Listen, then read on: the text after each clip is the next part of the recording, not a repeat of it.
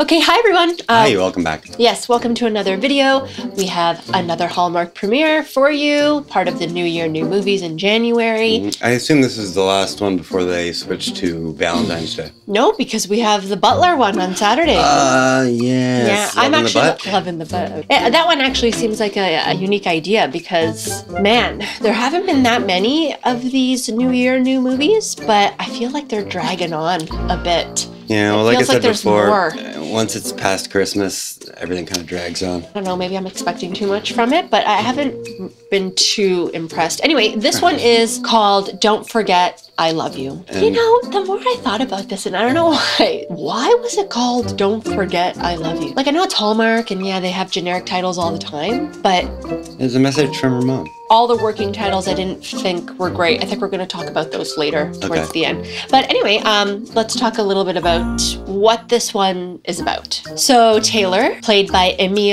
Ullerup, I believe. Pull her up. Yeah, I think she's Um, Danish. A successful professional organizer about to celebrate her 30th birthday finds her regimented and meticulously organized life disrupted after her dad presents her a map leading to a time capsule left to her by her deceased mother.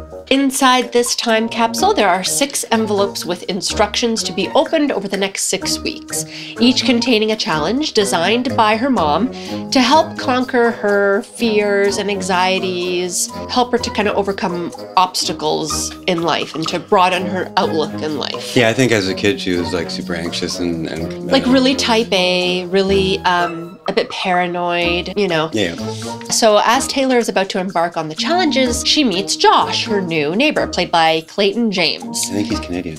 Oh, is he? Oh, I didn't know that. He's extremely disorganized and the complete opposite of her. Yeah. So, uh, unsure if Taylor can accomplish some of these challenges, she enlists Josh as an accomplice, and a new friendship starts to form, and then, of course, a romance. Yeah, it's kind of creepy because maybe like it's like her mom knew that a guy was gonna move in that fucking week. Well, I guess, yeah. So uh, this was written by Barbara Kymlicka. So she's written a bunch of Christmas Hallmark movies, Christmas on Wheels. That was a weird one about the car. That was a weird one.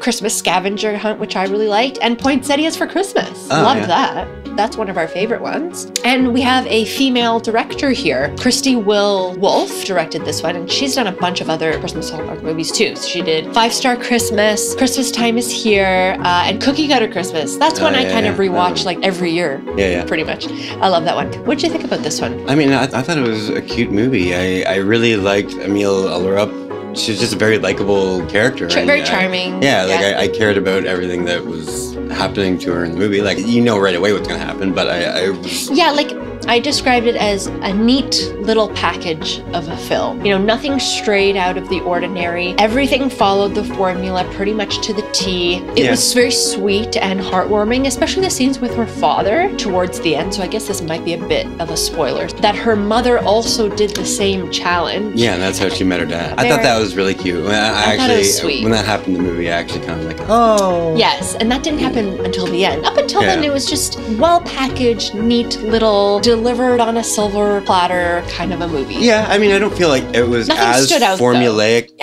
It was a unique story, I guess, in terms of Hallmark. I haven't seen Hallmark do something specifically like a time capsule scavenger hunt, heavily influenced by P.S. I Love You, for sure. That's what I thought the whole time while while watching it. And that's not the first time Hallmark has been influenced by Hollywood films. No, for sure. mean, And I thought I thought it kind of did it justice. Like it, it, you know, it followed script, but it still had a couple little things in the movie that were Clayton James' character, his wife, had just passed like that year. Yes. Which I also found a little quick to fucking be jumping.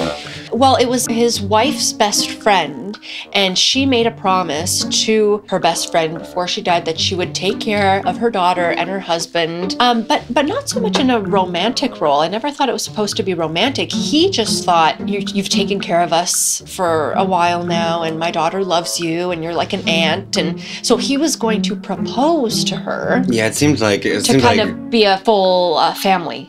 I didn't really like that storyline. No, that was that was very actually unnecessary. Kinda, it was a little dumb and, and uh, kind of creepy. Even it was like, okay, yeah, what you you have to like find your daughter's mother replacement within the same year. It's like, Like, oh, well, it's her best friend. I understand that you need to introduce some conflict, some antagonism to progress the story along. Like I understand Yeah, that. they, they needed to make need somebody go that was a sort of a bad guy, even though she wasn't a bad No, guy she at wasn't. all. It She was wasn't. just they needed somebody. I- I- I think there wasn't a lot of me- people in this movie.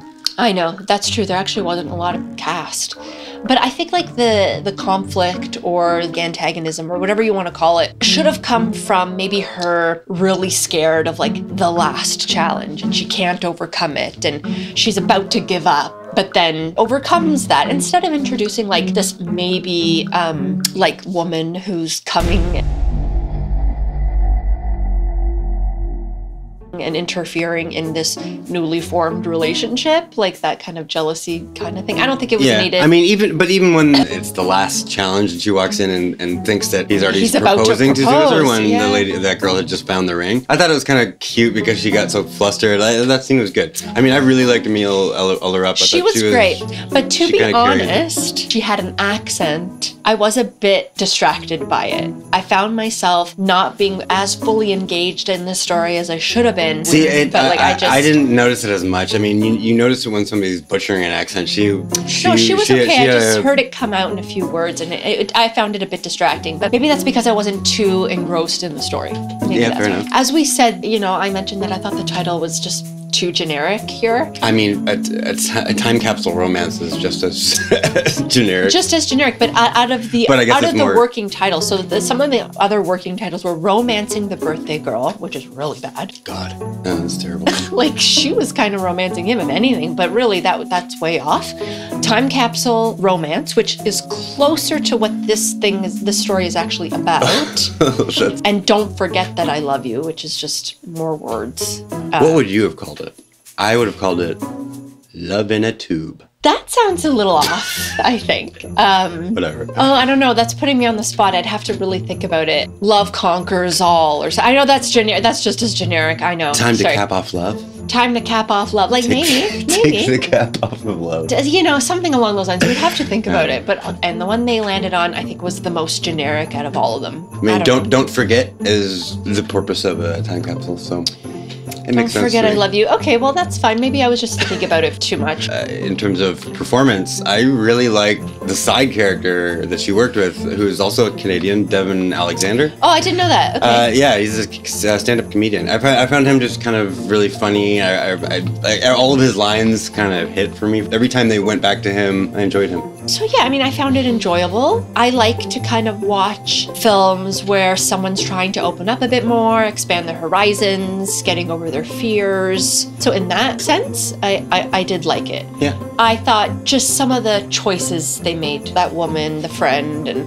I find that something Hallmark does when the people are clicking too much. The relationship's too easy, so they're like, "Well, we need something awkward here." So one thing we always like to do, as we mentioned, is we like to go through the Hallmark list to see if the movie had them or not, and see Yeah, it's just a reoccurring themes. So we like Generic to, list we made up. yeah, like a little checklist. I changed the order completely. oh, did you? Okay. Now they're kind of in order of uh, how they might show up in the movie. Well, that's cool.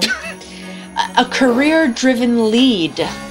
Yes. Uh, yes. I mean, I mean, again, She owned her own kind of like organizing company, right? Uh, yeah, yeah, yeah. So obviously can't handle it. Um, uh, promotion or deadline? Uh, no. No, there's no nothing impending. She owns the company. Yeah. Um, big city, small town transition. No. No, we're, we're locked. No. Where were they? Colorado. I know this was filmed in Squamish. So that bridge that they were on was so cool. It's a real bridge. Yeah, and yeah. that looked amazing. Like like to- visually, it was great. I'd like to go on the bridge. Yeah, it was a beautiful, beautiful shot. Beautifully shot. Yeah. Um, travel issues. I don't think so. No, I don't think they really travel anymore. Uh, they went on a road trip. They but did go on a road trip, but no issue. No. Yeah, that was fun. Um, a big misunderstanding. Yes. The ending. Yeah. Well, her misunderstanding, uh, thinking that. He proposed to Yeah. Yeah. Yeah. yeah uh, Okay. uh, change of heart. I don't think. I don't think so. No. This Change might, of heart. This might be one of the first times that change of heart hasn't got It's ticked it's off. a big one. It's usually a big It's one. in like so every one. Someone gets dumped, fired, or dies. No, it has to happen on screen, right? So no. I mean, her mom did pass away, but no. And his wife passed away, but that was all Yeah, it pre has to like happen in the movie. movie, pre-story. Mhm. Second romance subplot, uh, yes, that friend, but they they're No, because that's not a second romance. That's that's the mis- that's a big tried, misunderstanding. Second romance subplot would have to have another set of characters falling in love. Okay, so a no. No. All right. A proposal or wedding? Uh, no. Uh, selling the house, business, or farm? Uh, no, no, I don't think so. No. No. Uh, the almost kiss. I don't remember. Is Why it do we always fucking forget this We always forget it because, like, You just assume it's always in there, but we need to print out this damn I list. I'm saying no. uh, okay. And Mad Dash to the airport. No, not Mad No. Dash anywhere. All So in all, did I, it, uh, I hit really the- liked this one. Did it hit the hallmark for you? For me, it definitely hit the hallmark. Yeah. Um, in spite of questionable choices and the generic title, and I, I did think it was heartwarming and sweet and lovely, and I like the theme of um, someone overcoming their fears. It did everything So a Hallmark movie should. I, I, it hit the hallmark for me too. I, like feel like theme. I feel like they have to like kind of just be bad to miss the, the like really bad, the but mark. we've seen some really bad. Yeah, okay, that's the name of this game. I know. Oh. But they're fun. We enjoy them. We'll keep doing them. Hopefully, you guys are enjoying them. And we'll be back for the Butlers and yeah, we're gonna do the Butler one. We love doing this. It's fun, and hopefully, you guys enjoy it.